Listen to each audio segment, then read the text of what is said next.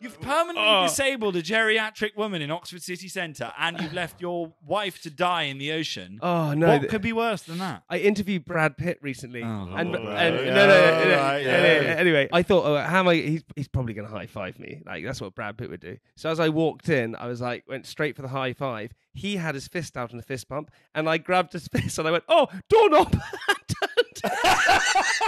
Okay, that is worse. That is worse. Like, he was trying was to get like, to there's no Narnia or something. Oh my god, doorknob. doorknob. That's not even a thing.